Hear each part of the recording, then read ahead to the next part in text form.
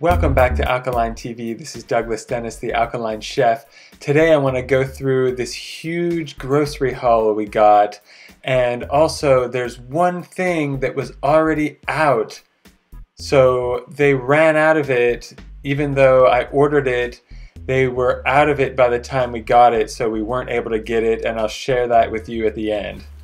Oh, yeah. Brazil nuts.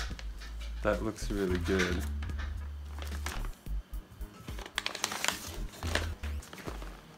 Oh yeah, more Brazil nuts. What is this, two pounds? Oh yeah!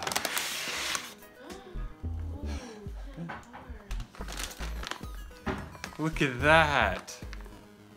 Giant bag of hemp hearts. Hemp oil. Agave? Oh, syrup.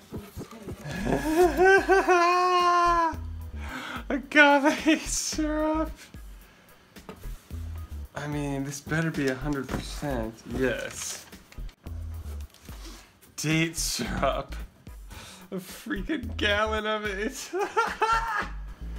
that is like Christmas. What's this? Brazil nuts. Oh.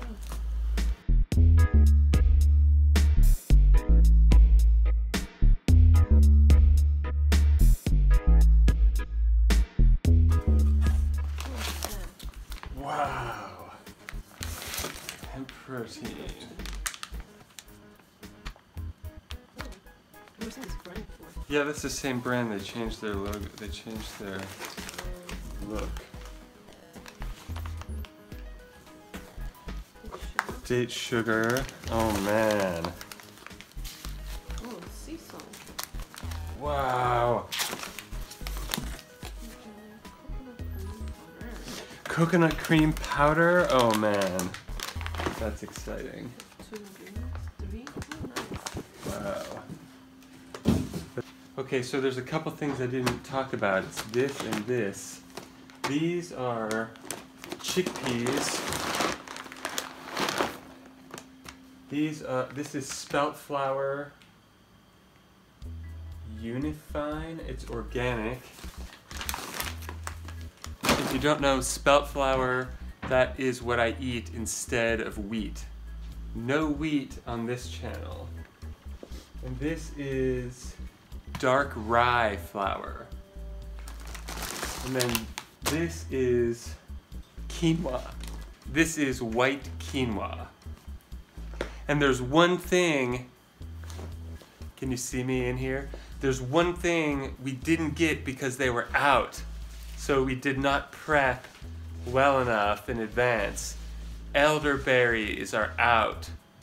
Luckily, I still have some, but trying to prep them, they were on my list.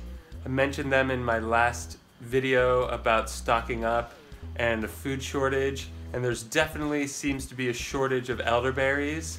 I think there was already a shortage of elderberry before this all happened anyway.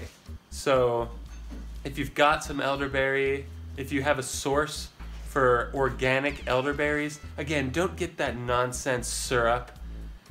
If you want to make the syrup yourself out of whole elderberries, great. But don't buy that stuff in the store. I talk about it a million times.